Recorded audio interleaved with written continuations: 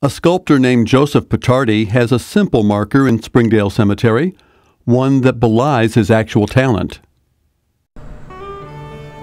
Petarde was uh, born in a family that came from an area in Italy where they were all stone carvers. And his father was a stone carver.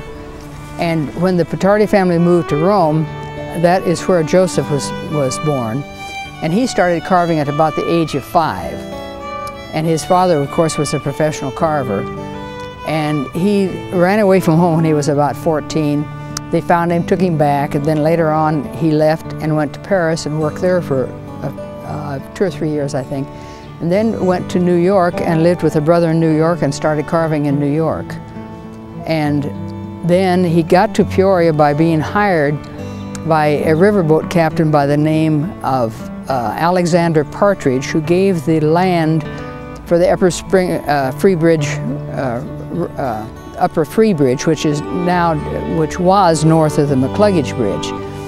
And so he was hired by Partridge and came to Peoria to carve this, the Joliet limestone for the Upper Free Bridge.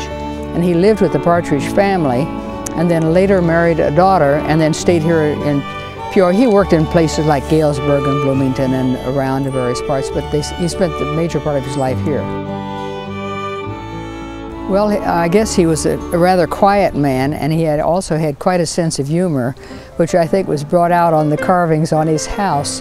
Uh, he kind of had a, a, liked some of the rather slightly bawdy things that, that he had also carved.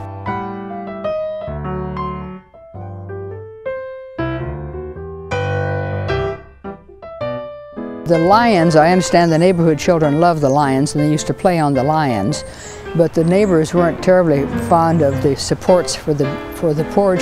There are two partially nude women and Atlas holding up his shorts, and they were a little bit offended by that.